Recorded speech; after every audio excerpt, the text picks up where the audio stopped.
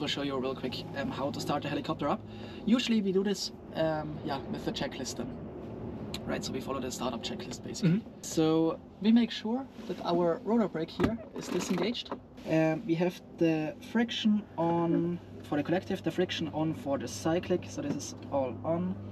Um, fuel shut-off valve is on, carb heat is down, this is all good. We have all the circuit breakers in here, right, they are all in. Then we can push the mixture into fully rich position.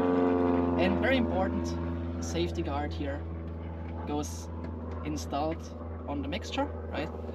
Then we can basically prime the engine. So I usually give it one, two, three twists on the throttle here, right? Okay. I keep it a little bit open. And then I close the throttle and make sure that it's really closed. So I close it all the way. I mm-hmm. keep it in a closed position. I switch the battery on and then basically throttle is closed and then I can start the engine. Okay, the engine is on.